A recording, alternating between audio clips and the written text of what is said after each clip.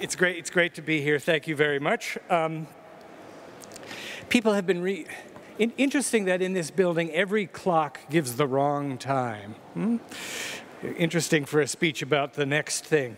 Um, I, unfortunately, I, I, am somebody who um, learned public speaking at the school of um, Fidel Castro and Hugo Chavez. Uh, I brought my own clock. I have been abundantly warned not to speak too long, but um, it's, it's really at your own risk. I'm gonna, I have a text, and I, by God, I'm going to read it. Make no mistake, the planet is going to hell in a handbasket. I think I hardly need to read the riot act to this audience, but it can't be too much asserted that the exponential increase in population growth, the accelerating depletion of resources, global habits of pollution and waste, and the insane inequities of the multinational economy are ravaging our environment. We are in a crisis, and the need for action at every level is imperative. I want to talk to you today about the role of cities and their inhabitants in this, both because they are sources of our shared dilemma and because they are at the heart of the solution. How, how is the simultaneous translation into Dutch going? Yeah? Um, half the population of the planet, something north of three and a half billion souls, now lives in cities. And the increase is exponential and the condition general. Earlier this year, China's urban population passed the number of its rural inhabitants um, uh, as it accelerates towards the norms of the developed world. The US number is 82 percent. Cities consume something like 75% of the planet's energy and produce around 80% of its greenhouse emissions. And cities schematize the social dimensions of the crisis. Half of the world population lives in slums. In New York, the richest census tract in the United States and the poorest are not more than one mile apart, and the economic distance continues to expand. Such polarization is endemic, and the yawning inequalities evoked by the Occupy movement or the Gini coefficient are vast and growing vaster in too many places. This is a fundamentally political problem, but the crisis of our relationship to the environment is embedded in it. Environmental justice is inseparable from the chemistry and biology of planetary sustainability. And it's important to remember that this is a battle that is very far from won that attacks on the most fundamental scientific evidence speak to a growing strain of irrationality that's deeply embedded in particular in American politics. Global warming is a hoax. Evolution is a secular humanist shuck. Conservation is a plot against the freedom of capital. Women's reproductive systems automatically shut down in cases of legitimate rape. Earlier this year, in one of the endlessly mindless debates of the Republican Party during the primary season, Rick Santorum, uh, one of our leading tributes of evil stupidity and already at work on another try for the presidency in 2016, railed against environmentalists for opposing our putatively God-given dominion over the earth, bashing those who cleave to the ethics of biodiversity and oppose the plans of the frackers and other avatars of the carbon economy to secure, by any means necessary, or as Romney would say, drill baby drill, the oil and gas he insisted was our birthright. With sub-adolescent sarcasm, he dispatched those who displayed tender feelings for other species as soft, sentimental socialists standing athwart a biblically ordained destiny to rule. I shouted at the television that Earth is more than our backyard. It is our home, and that means that we should think twice about taking a shit in the living room that we share. I offer this somewhat agitated opening uh, to suggest that it is impossible to think about the technical and physical aspects of our survival, however important they may be, without a deep consideration of the social circumstances that enable them. Both economy and ecology are systems of distribution, and although resilient, they are predicated on limits. Whether the discussion is of peak oil, scarce water, vanishing arable land, the exhaustion of mineral resources, or the levels of greenhouse gases in the atmosphere, we're confronted with the urgent need to think about the way in which we produce, conserve, and distribute assets that are not fungible but finite. The inescapable conclusion is both that access to resources must be radically reconfigured for the sake of equity, and that the hyper-profligacy of those of us at the top must be curbed. This means that the old model of development that, that, seeks simply to bring the globe in line with Western styles of consumption, uh, I would like to buy the world a Coke,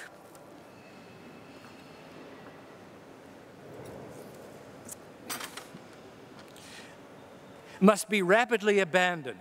It is time for a dramatic reversal of knowledge transfer, time for us to stop foisting the paradigm of mindless gluttony on the world and to begin to learn the habits of modesty. Note to China, a car for every comrade dooms us all. This is not a patronizing bit of eco-colonial advice, it's begging for help.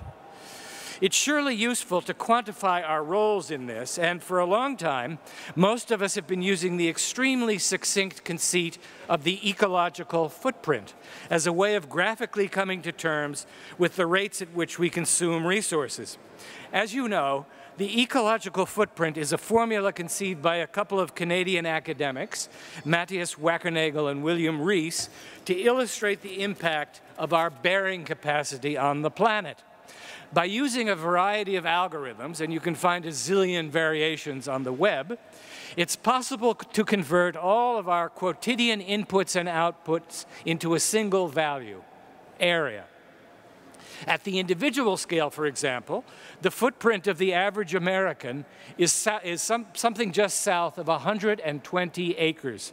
The average Indian uh, is slightly north of two acres. Here is inequality reified. Likewise, American per capita production of greenhouse gases is more than 20 tons a year, while Indians generate fewer than four. At the macro level, the results are even scarier. A standard calculation suggests that we are already using an earth and a half a year to sustain ourselves, and that the level will rise to two earths per annum by 2030. If everyone on the planet consumed at the rate of Americans or Brits or Dutch, we'd need four and a half planets right now. Alternatively, if we all adopted Bangladeshi, Afghani, or Haitian lifestyles, we could make do with only slightly more than one-third of a planet. Contemporary Guatemalan and Ghanaian habits almost perfectly conform with the bearing capacity of a single Earth.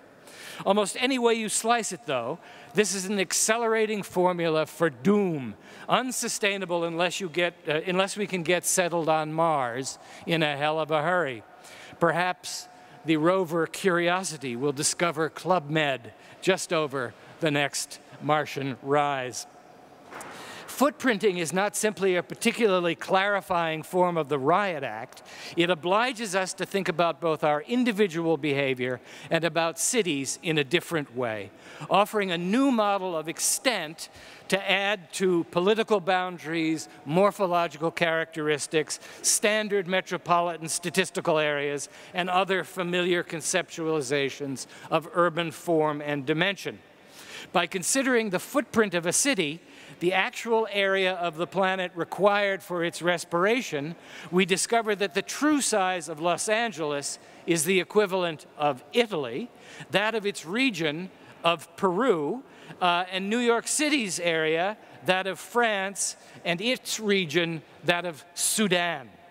If nothing else, this should resituate the decisions we make as urbanists and designers, make us conscious of the need to think about uh, urban effects in the broadest sense and about the way in which uh, cities enable their citizens to live good lives, both as private individuals and as planetary citizens. But into what kind of design action might such prescriptions translate? Certainly one effective response has been the movement of the past few decades, uh, a movement that descends via the lineage of William Morris, Ebenezer Howard, Patrick Geddes, Lewis Mumford, and others for compact cities and urban growth boundaries, as well as for thinking about cities regionally and beyond. These strategies have strong appeal and have greatly influenced my own work. Much as I adore the metropole and feel ennobled by my ability to accumulate frequent flyer miles, I am also an advocate for very careful attention to limits. But a simple fixation on scale or boundaries is not enough. To be sure, up to a point, scale translates into efficiency. And clearly, dense cities are far more sustainable than their sprawling suburbs. Much interesting speculation has arisen from this question, including a variety of scintillating urbanistic takeoffs on the work of the biologist Max Kleiber, who famously quantified the greater metabolic efficiency of big creatures. An elephant, while 10,000 times of the size of a, a guinea pig, uses only 1,000 times as much energy. This seems to be true of towns as well.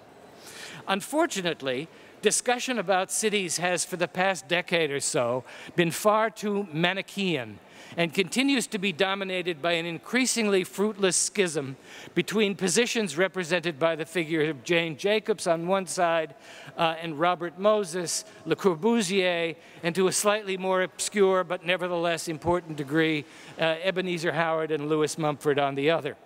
Although it pains me to do so as one who reveres the thoughts, actions, and passions of Jane Jacobs, and who has spent most of his adult life in her old Greenwich Village stomping ground, it's nevertheless crucial uh, to see her approach in its most useful contexts. To begin, the vitality of neighborhoods is central to both the social and respiratory ecology of cities. As you will presently see, I am persuaded uh, by much of what Jacobs argues about urban economies, especially her claims for the energizing mechanism of import substitution. But Jacobs does have a blind spot, however usefully and polemically produced, and it lies in the fact that her analysis takes as its predicate an already established condition. Jacob's urban growth model is focused on differentiation rather than extent, and while her critical methods can be applied to judge the qualities of town life, they do not, uh, as many have observed, translate into tools for operating in fresh territory, nor are they well suited to the analysis of regional or of natural forces. A truly ecological view of the city, however, must combine the insights of the local and the global, duh, uh, and frame its decision making at every scale, um, but with a particular favoring of the most intimate. Putting it another way, we must uh, start to solve every ecological question on the demand side of the equation, and this begins with each of us as individuals, with the structures and habits of daily life. If we can walk to work, we don't need a car, and God bless you Dutch bicyclists. Um, if we choose not to eat so much beef, we reduce greenhouse emissions, heart disease, monocropping of corn, animal cruelty, shipping costs, and corporate hegemony over the food chain. If we wear a sweater, less energy is needed to heat the flat. This is obvious. Less obvious are the variety of morphological and functional adaptations that will shape the city and the palette of forms and technologies we must deploy in all the fresh and familiar combinations that will characterize the city of the future and our place within it. Jacobs was disdainful of Ebenezer Howard, both for reasons that were right and for reasons that were wrong. The dogmatism of his diagrams, the dullness of his architectural imaginary, and the arbitrariness of his numbers were easy targets. But his call for new, autonomously considered, regionally conceived, compact and bounded cities uh, continues to be tonic and influential. Witness the ongoing, if somewhat fatigued, discussion of the idea of compact cities and our renewed interest in the city region. Again, there must be nuance and thinking through the other values city, cities must embody and the range of urban conditions, social, environmental, and morphological, in which they might reside. After all, the idea of urban compaction risks embodying the primary conceptual limit of the idea of the ecological footprint, its reduction of a complex of functions and habits to a single variable of size. On the ground, if you will, the creation of sustainable cities is only partially a matter of their literal extent. In thinking about the character uh, of the highly sustainable, reduced footprint cities we need to create, it's important to disaggregate the components of those footprint calculations and to consider each of the elements of urban respiration, food, water, air, temperature, manufacture, movement, buildings, waste, raw material, and so on, as part of the basis for the way in which we design and inhabit our cities. In our work, this has meant a radical reconsideration of the degree to which cities can behave autonomously, a continuation of the quasi-utopian speculations so well embodied by Howard and Mumford, and I am an advocate of an ongoing conversation about the dreamiest propositions for cities to come. Such thinking about limits amounts, among other things, to a controlled experiment, a sort of patch dynamic investigation of a system that is designated, at least provisionally, to be closed. But it also insistently opens an inventive territory in which the literal implications of an autonomous system can be explored. This, I think, has value as a thought experiment with dramatic technical and morphological implications and as a political proposition that will powerfully affect our daily lives and relations. Embedded in much of the work we've done is the not so original but more and more vital idea that democracy flourishes best locally and that cities have been the hothouse for the growth of forms of democratic association from the get-go. Their relevance seems particularly strong today in an era of incompetent and violent nation states and the increasingly hegemonic transnational corporate control of nearly everything. Cities as coherent and responsive entities are threatened by their dissipation into this global field, which imposes itself via the irrelevance of location, the homogeneity of multinational culture, and the loss of both identity and tractability that results from runaway growth and the miseries of the megacity. So I'd like to present four cities that we've designed that investigates strategies of increased urban autonomy from a variety of perspectives, speculations about what the city might be. While the history of the city dates back millennia, Rome had a population of 1 million uh, over 2,000 years ago. The modern city, the city shaped by technology, industrialization, and capitalist relations of production, is something new and frames our work. The task of inventing the form of the city, um, of realizing its potential for beauty and convenience, is still unfolding. And you must look at the work I am about to show you as both proposition and research. These projects are frankly utopian in the sense that their representation depends on an appearance of completion. But this is merely provisional. And I must insist that the discourse of sustainable urbanism vitally depends on making proposals that are not shy about testing their own boundaries and limits. These can exist in many registers. A code or a convention can be as important as a construction. But we shouldn't be shy in asserting or criticizing our best ideas about the good. Resignation before implacable forces, whether articulated as nature or as culture, is just a formula for suicide. Um, I prefer joy. And now, in conclusion, I would like to show a project about New York City.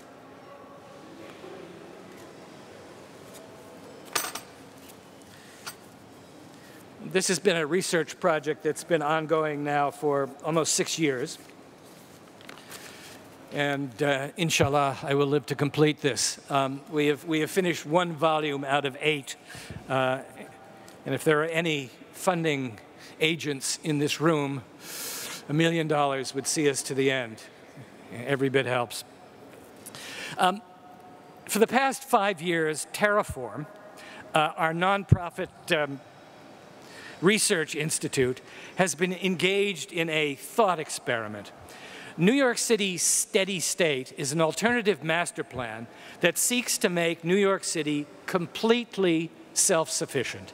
Its ecological footprint exactly coterminous with its political boundaries.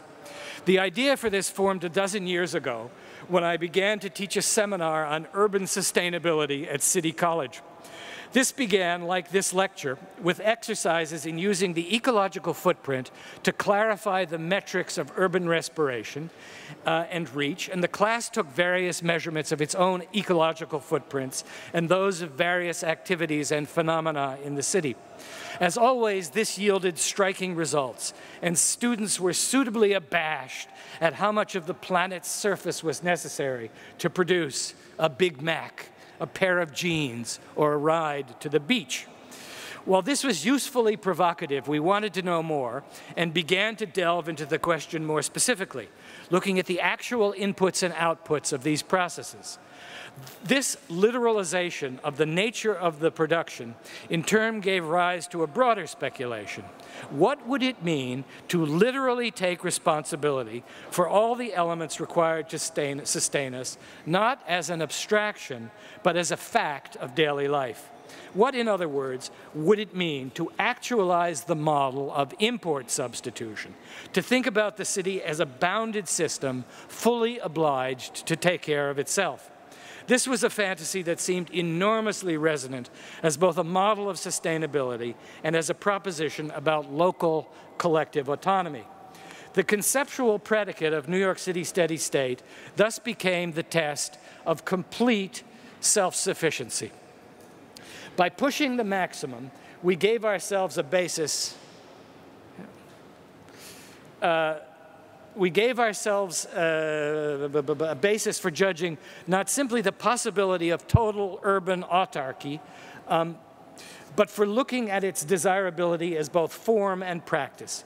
Desire is also subject to tests of practicality, and although we have now completed enough work to demonstrate, among other things, that it's possible to feed the current population of New York with food grown entirely within its boundaries, the environmental, economic, political, cultural, culinary, and morphological arguments for doing this are complex, to put it mildly. While our study is surely infused with a romantic, utopian, there's that word again, aroma, it is also designed as an instrument for testing the practicalities and efficiencies of environmental autonomy at a variety of sites. This is not to gainsay circumstances in which there are economies of scale, or even the idea of comparative advantage.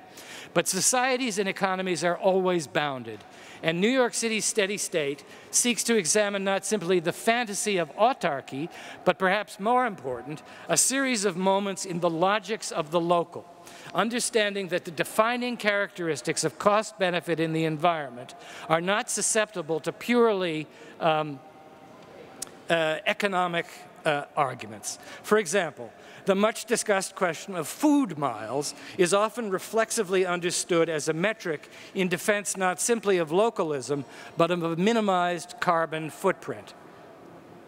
Um, however, a giant cargo ship of containerized apples sailing from New Zealand to New York actually has a far smaller footprint per apple than a fleet of pickup trucks conveying hand-hewn wooden crates of McIntoshes from upstate to the local food co-op.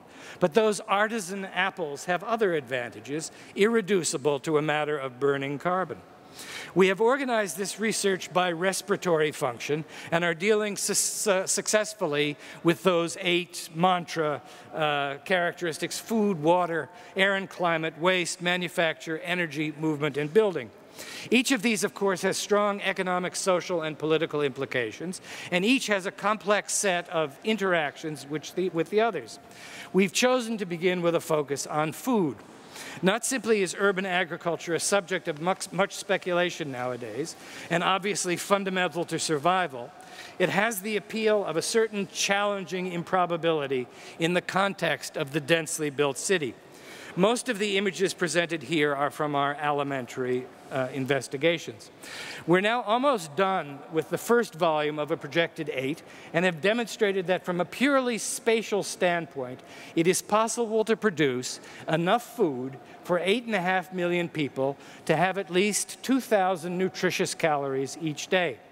Our work has investigated sites for production at every scale, including buildings, transformed streets, repurposed infrastructure, existing open spaces, and vertical agriculture.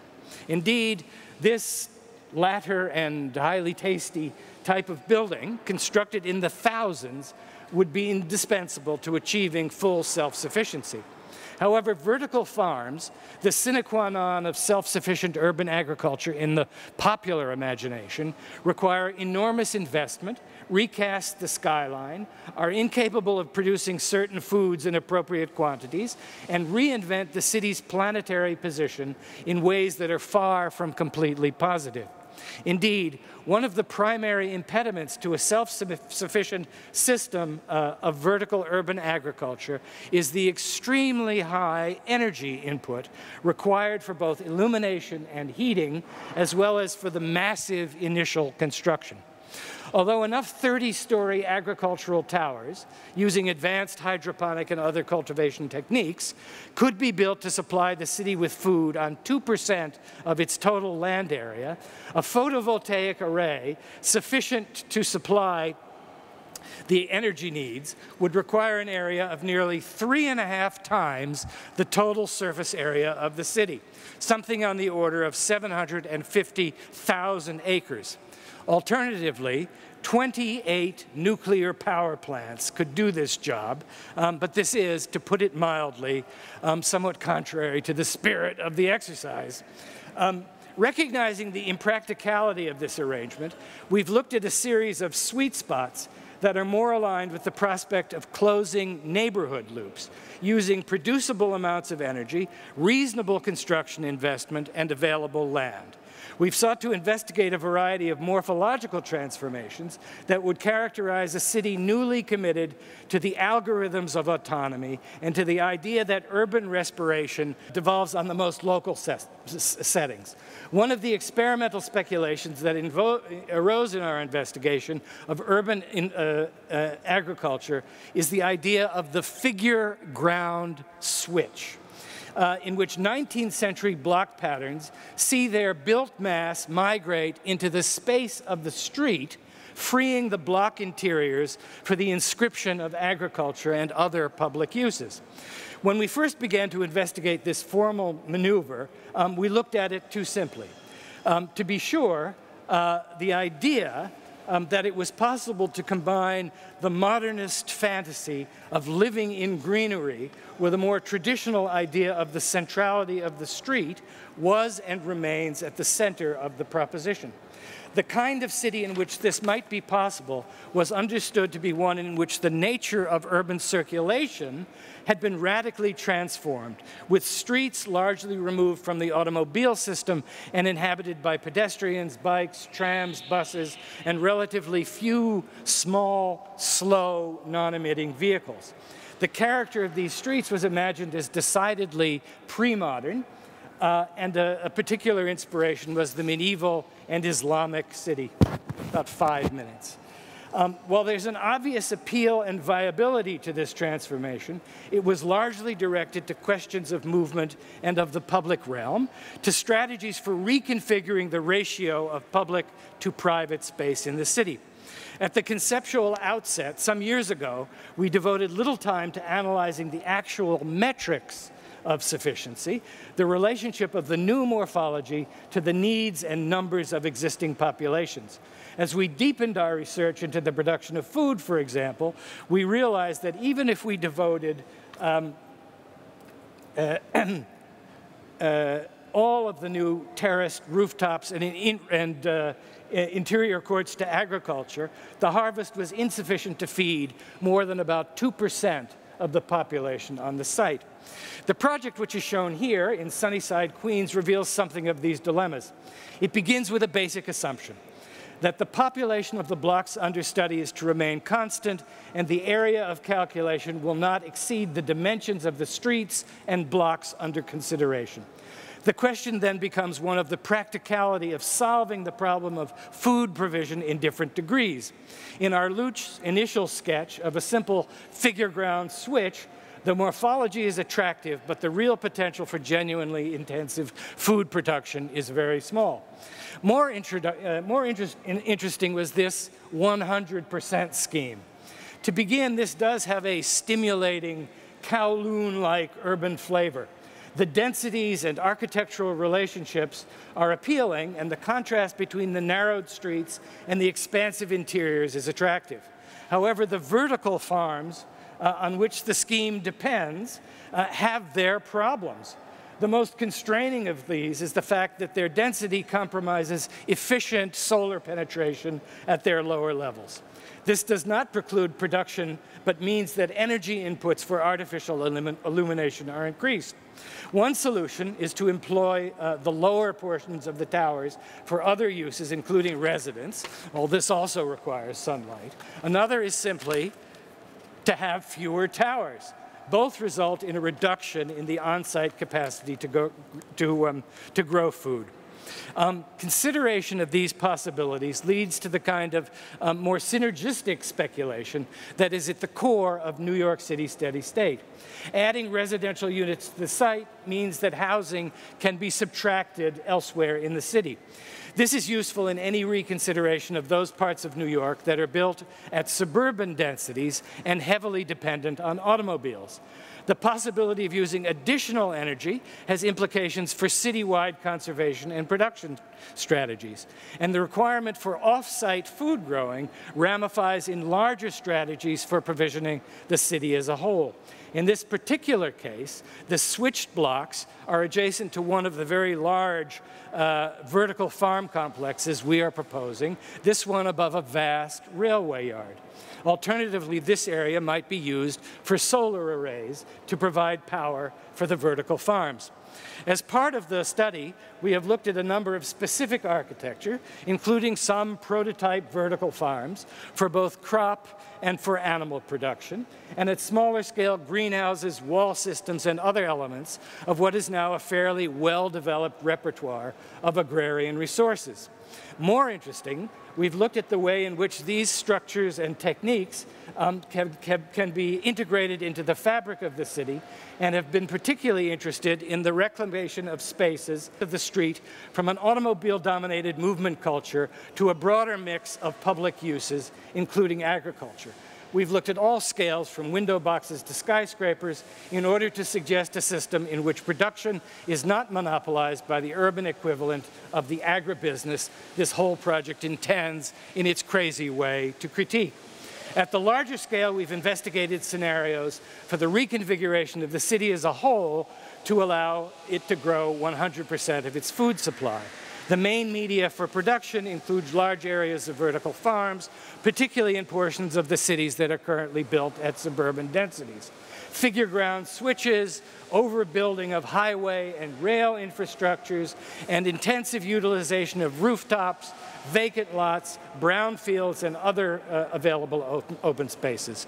Our larger reimagining of the city is based on an intensification of neighborhood autonomy and a strong preference for local accountability in all aspects of urban respiration. The drawings are diagrammatic, We don't imagine a literal circular morphology uh, for those transformed neighborhoods, but we do intend their recalibration on the basis of walk time and the emergence of a green supergrid as a zone of circulation, agriculture, climate control, recreation, water management, and organization. We are also in the process of designing a, uh, very good slide is missing, uh, of designing a repurposed subway system to facilitate not simply the movement of people, um, but of goods. We anticipate that the completion of this study will take another five years and that we will be able to demonstrate the very high degree to which it is possible to radically ratchet up the autonomy of the city. The Encyclopedia of Technologies and Morphologies that are represented in the work are meant to offer a practical lexicon for the global transformation of cities and the broader assumptions of urban culture about the nature of human autonomy that must increasingly characterize a planet alert to its limits, and moved to deal both with distributive justice and with our very survival. Thank you for your indulgence, and forgive me for speaking too long.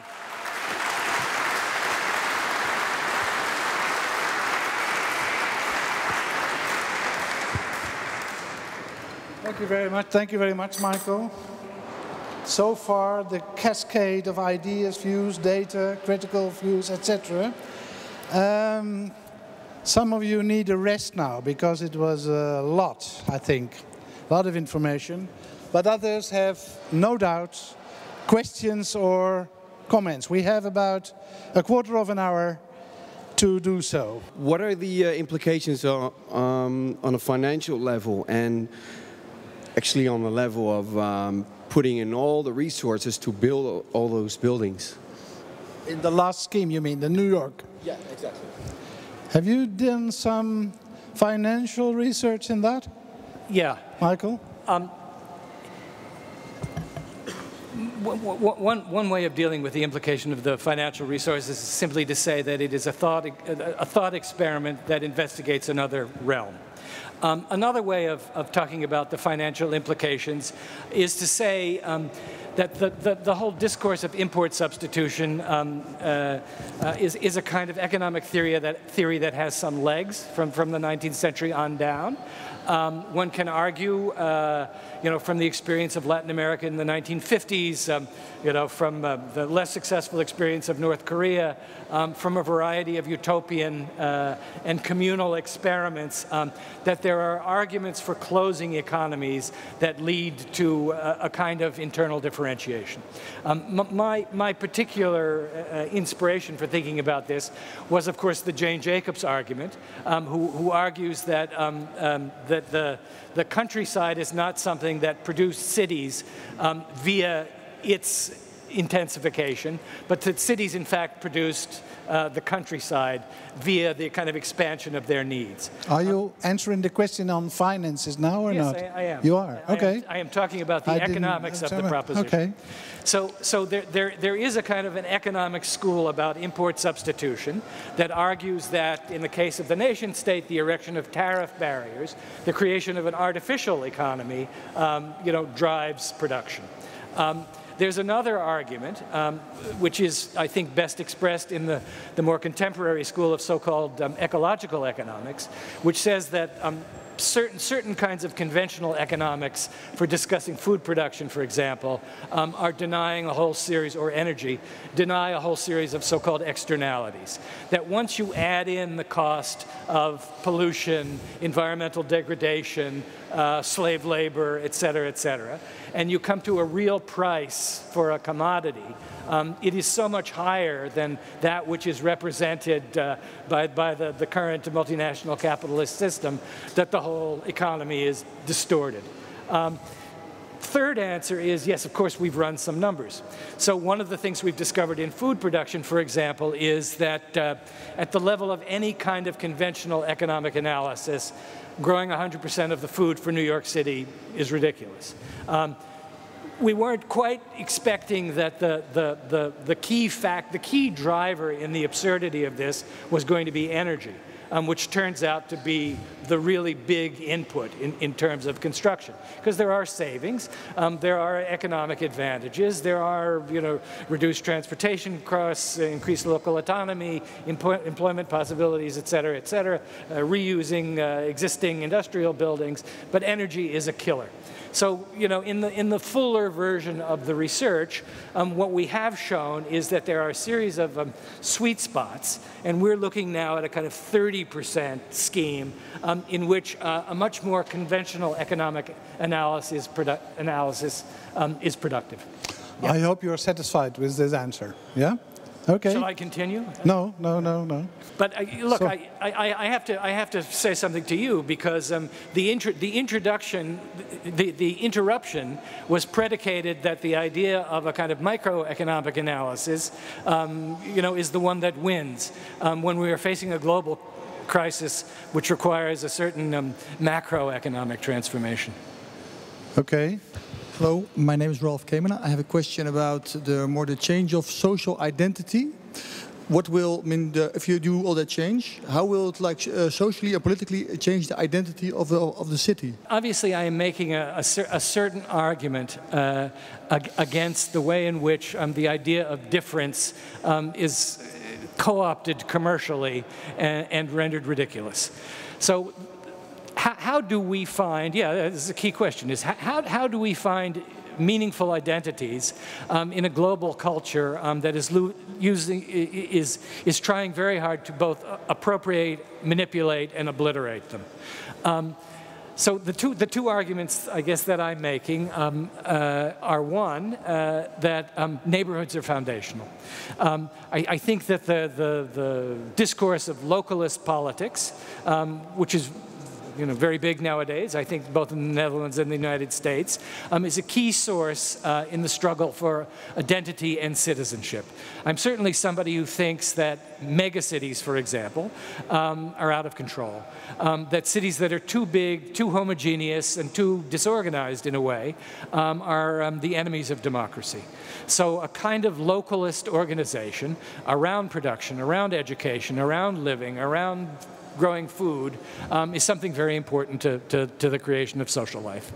Um, the other question, um, you know, a little bit of a different answer, which I think was re revealed in the, the first project, is um, there is a tendency um, for uh, the homogenization of space in multinational culture. I mean, you travel around China, looks like Cleveland, looks like every other city in, in China. So on the one hand, the, the idea that there is a, a kind of increment of organization, the neighborhood, um, that conduces local organization and identity is very important. But I'm also making the argument that um, at, at, a time in which anything can be anywhere, that um, the, the artistic design of cities um, represents a kind of axis of resistance um, to, to the sameness and provides an opportunity for identity. So um, to the degree that the, the, the kind of historical formation of local cultures is under attack, we need to introduce um, new irritants, as it were, around which localisms can develop. And I think one of these is uh, artistic and spatial difference in the design of cities. Thank you. Who else? Um, the, the, back to New York, the, the New York project. I can understand the relevance of the project. I don't understand the idea why New York should be seen or conceived as autarkic. Why is that? I mean, in a time that everybody is talking about network cities, about lines between cities, etc., why, why is it relevant to bound it as, as if it is a medieval city? Yeah. Well, uh, it, it, how long do I have? Uh, Two minutes. Yeah. Num number one, as I said, it's a, it's a kind of a thought experiment. Um, and what we will produce, you know, is both um, at the margin uh, proof that it could actually happen, um, but the, the, the, actual production is of an encyclopedia of, of the, the morphologies and technologies that might be used for cities that were seeking not to be 100% autonomous, but 10% or 20% or 30%. I think that's the, the real meaning of the the, the project. It, and it's also a kind of a riposte to the idea um, that we can transfer responsibility somewhere else. So um, if one is going to take responsibility for one's impacts on the climate, um, and this is, you know, for us in the West, um, this, is, this is extreme because we are piggishly consuming the majority of the world's resources. If we are going to take responsibility, you know, if we are going to, to somehow um, harmonize our footprint with the woman in Ghana, um, then we have to do it in our own territory, you know, in, in our own place. So this is a kind of radical proposition about a politics of taking responsibility for your own shit. So let us see the degree to which we can realize this radical responsibility taking within our city. And that, that's why the, the, the boundary was set um, in terms of the political limits of New York. You know, in the course of doing the food chapter, you know, we have Plan B, which is the 100 mile plan, and we have Plan C, which is the next political increment up, which is New York State, you know, which is, which is easy. Um, but, you know, if you're going to conduct a radical experiment, it's like a patch dynamic research. You need to define the edges of the patch um, in, an in, in, in what is, in many ways, a completely arbitrary way. So we've done it. Okay, the, uh, that's uh, one more question about this uh, about this New York issue. You have you are studying now, you're researching now for five years on this project. Yeah. No doubt you have had enormous amount of discussions and debate in the city about, with politicians, with other scientists, with uh, everybody. What is the reaction of those people, again, uh, uh, towards these, these findings and these research? Because, because, the, because each component part of the research is reasonable, um, we get many, many positive reactions. You know, pe people say, well, you know, it's crazy. It's, cra it's crazy at the margin, but, you know, one of the things we've proposed is that um, one half the area of the street surface of New York be repurposed. You know, so that's, that's possible. Um, another thing we've proposed is that the subway, um, which is underutilized in certain hours, be used for the distribution of freight. Well, that's not unreasonable. Um, another thing we've proposed, um, uh, a certain number of um, vertical, everybody's talking about vertical agriculture these days, so a, few 30-story farms, all right, and in, indeed, you know, this, the, the, this is another discussion, but why, why this kind of attachment to food culture uh, as a kind of wedge into questions of sustainability has become so important, the so-called locavore movement, I assume you have that here, or the slow food movement. So anything that has a kind of sniff of, food, of local food production um, has a very positive vibe. Um, so I would, I would say that, um, yeah, I mean, who, who's, who other than the Shell Oil Company is, is against uh, uh, non-fossil fuel energy? So, I mean, as I say, that, that's I think that's the, the, the, interesting part of the problem is that um, if you disaggregate it, if you look at every given suggestion, and one of the premises of this project is that it employs no technology that does not either exist or is e easily foreseeable. So, you know, you can use a lot of, it, it, photovoltaic energy is uh, more expensive than uh, coal-fired energy at the moment, but not for long. So all of the, I mean, that's one of the predicates of the project is that um, no, no anti-gravity paint, uh, is no, no cold fusion. Um, only existing and foreseeable technologies um, uh, are used in order to begin to suggest styles of organizing the city, um, which themselves turn out to be quite different. Okay. One more question, yes? My name is Paul de Graaf. I've been working on urban agriculture in Rotterdam. Um, I'm interested um, if you uh, consider the, the Ebenezer Howard uh, scheme of the garden city. It's uh, one of the reasons it failed was because there was uh, the, the issue of access to land wasn't uh, dealt with. Finally, the, the, already back then, the project the developers took over. So uh, in parallel to the financial question, how do you deal with access to food production? Uh, as a basic right in this scheme of yours? I mean, this, this is a scheme about growing all of New York City's food in New York City. So there would be, uh, you know, it's, obviously it's about access. Well, it, it would be uh, who would be in, in, in, control of the production and who yeah, would this, earn the money, uh, for is, example. And, yeah, this is, this, is, yeah. this, is a, this, this, is, this is obviously a key question. You know, one of the things that happens if you have um, industrial scaled uh, food production is that you're likely to get corporatist agriculture and be because of the nature of the investment. So we look at alternative investment strategies for this and wonder how a small farmer can function in a vertical building. And one of the, you know, one of the models that we imagine is, is exactly the industrial loft building that, that I began to talk about. And there's no reason why uh, a large-scale project cannot be partitioned uh, to be utilized by a variety of small producers. You know, one of the other models that we, we use in thinking about this kind of scale of, of production um, is that, you know, even in the United States, um, we have been habituated to producing certain kinds of public utility at a very large scale. So, for example, um, a million people in New York City live in public housing all of which was built in a period of about 30 years, right? So the, the actual volume of enclosed space built by government for housing in New York City is not so different from the volume of enclosed space that would be needed to be built, perhaps by government, in New York City for agriculture. So in, in this sense, it's not a completely unprecedented possibility. You know, we think that we also have a, a medical system, uh, we, we, have uh, thousands of public schools, we have a hospital system, we have a mass transportation system, all of which represent comparable levels of public investment. So I mean, it's, it's, a, it, it's a political question. Uh, I think it's um, could be financed. Um, obviously, uh, the, the, the, risk is uh, that it, it, gives the image of a kind of corporatist solution. Um, but I'm certainly also interested in the Ebenezer Howard scale garden city. Yeah. You know, it is a salient fact of our lives as urbanists that one million people are added to the population of cities every single week.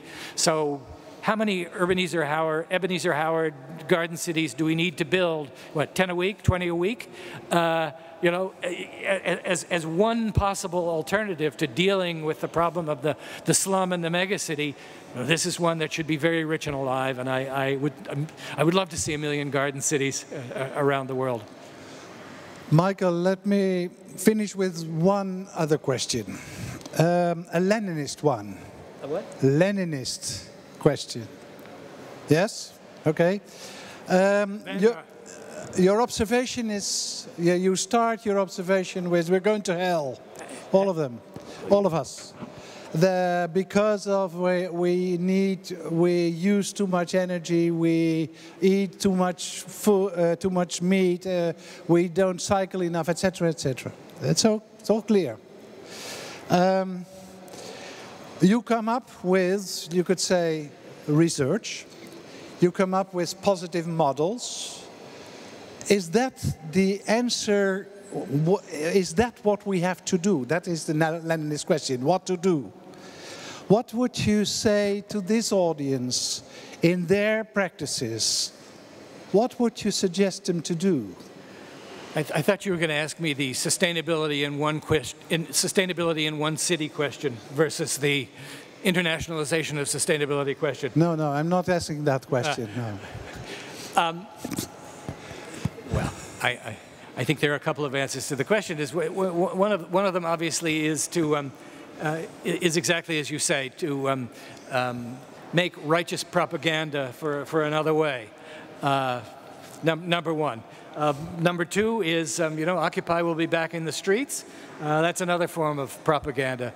But, uh, you know, I, am not, not exactly sure who is in this audience, but um, I do imagine that many of you are practitioners. Yeah. Uh, and, yes. huh? Yes, they so, are. So, you know, one, one of the frustrations of practice, as you know, is that um, you push, the client demurs, uh, you know, and, and, you make a compromise. Um, but uh, a kind of continuous insistence on moving the barrier a little bit at a time, you know, is, is also possible. I, I, I was watching TV yesterday, uh, and there was a kind of BBC program about um, Marxism, um, you know, with uh, I think maybe because Eric Eric Hobsbawm Hob died. He died. Eric so. Hobsbawm died yesterday. Uh, so you know there was Slavoj Žižek and there was uh, uh you know Tariq Ali and uh, and there there was David Harvey. You know our our, our greatest Marxist geographer. Um, who was saying, you know, the contradictions of capitalism are now at, at, at, in such a crisis that we have to think about revolutionary possibilities. So I, I, I open to you that there are a span of practices. Um, you know, I, I am fatigued with the sectarian disputes that I grew up in in the 1960s, but I think propaganda is important. I think pushing the envelope wherever you can is important, um, and arguing for um, the revolutionary possibilities of the moment, even if we are not yet quite clear about what form they will take, um, is indispensable to the joyful practice of any true urbanist. Thank you very much, Michael.